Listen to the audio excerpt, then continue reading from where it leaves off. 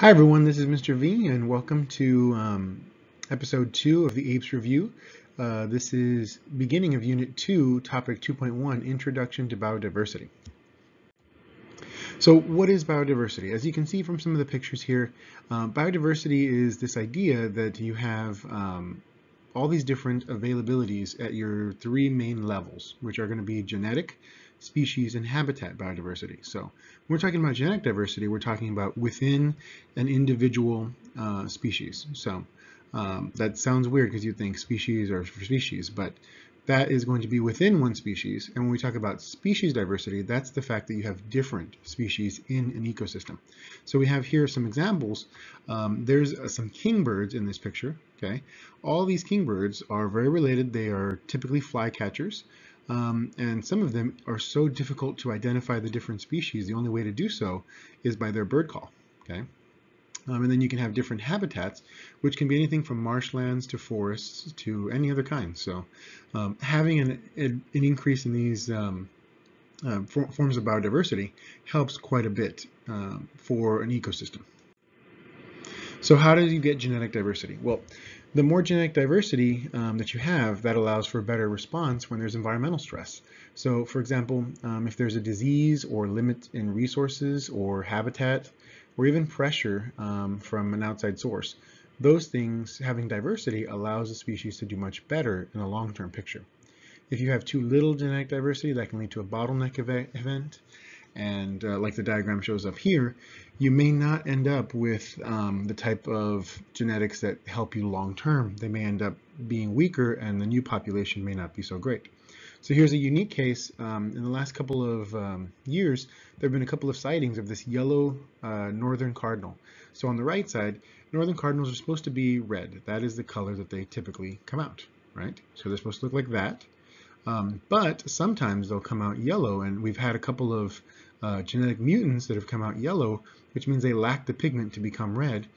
And so, you know, it's too early to tell because there's only been a couple of cases, uh, one in Alabama and um, another, I can't remember the state, but um, those locations are, those um, situations are unique, but it's not a guarantee that that's going to lead to genetic fitness. There's some scientists who've been studying and following these individuals and seeing that maybe they not they're not able to mate as well, or that females may not look at them as um, uh, fit to uh, mate with to have more babies.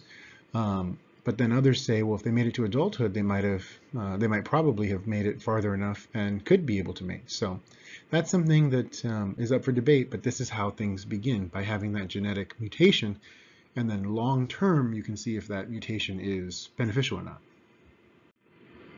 Now for species diversity, it's important to have different uh, type of species in a habitat. So you can have a grassland that can become a monoculture, um, and that's not a good thing for a species. And so when you have that, um, they're not able to respond very well to natural disruptions or even man-made disruptions. Um, and so having more individual species of different kinds in an area allows for certain locations to talk about. And we'll talk about a little bit more about that when we talk about succession in the following PowerPoints.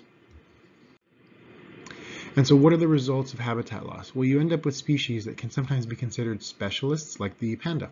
Okay, Panda is a very famous case. Um, it's a very specialized, it's got a very specialized habitat, very specialized diet. And because of that, it can only handle a limited range of habitats in certain situations. Whereas generalists, they can handle a wide variety of habitats and situations, and they tend to be, um, usually, they tend to do much better. So which one's going to be more affected by habitat loss? Well, as we can see by the classic case of the panda, um, those specialists are going to have the worst uh, case scenario a lot of the time. And so this leads to species richness, right? What communities do better? Well, it's good to have a variety of species, but it's also good to have um, what we call species evenness. So if you look right here, community one has the same four species as community two, but you may notice the differences in numbers. So we've got 6% in 2, 12, 70, and then 12 again. So even though they have the same number of species, you do tend to have one dominant species in the group.